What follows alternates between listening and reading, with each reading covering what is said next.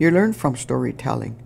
Like if you tell the story and then you're, um, whatever they, whatever the story is told from the elders long time ago are the truth. Because I use that in my class. I use myself as the, you know, whatever they talk about. I was an alcoholic, then I did this and I didn't like it. And look at how old, 50 some years old, and I got my education. You guys can do it. You know, it's the truth. The storytelling and the, um, how would it, powwows. I dance at the, I dance at powwows. I'm the, I dance jingle dress in golden age, you know. And my son is a traditional dancer and he has a drum. That drum is very sacred to us though. And the circle of life into that drum way and the things that we learn from our ancestors is the truth. You never learn it from the book. I never learn anything from the book, but I learn I teach the children from what my grandmother tells me, what my mom told me, what my dad told me.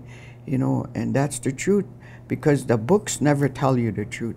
It comes from the, your ancestors and your ways of life that they tell you.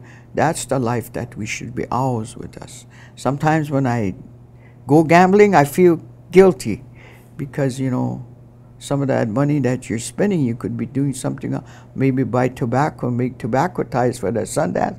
I always think about that, you know. And it is right what the ancestors tell us.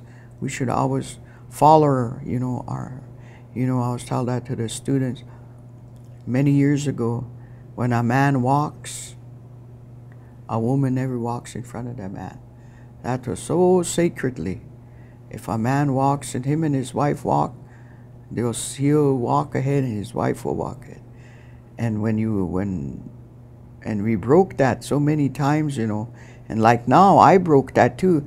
My, when you drive with on a road, well, we never had, the, uh, when they had wagons, the man would, the son would, uh, like, like if you say your oldest son was driving, you drive and you sit in the back. You never sit by your son.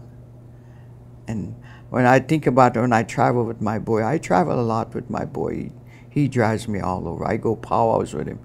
And I sit in the front seat. I always tell him that, hey, I broke another one on my circle. Oh, that's a long time ago, Mama. Yes, but you know, you feel guilty when you see those things. There is a lot of traditional ways that we have to learn that we are already breaking, you know.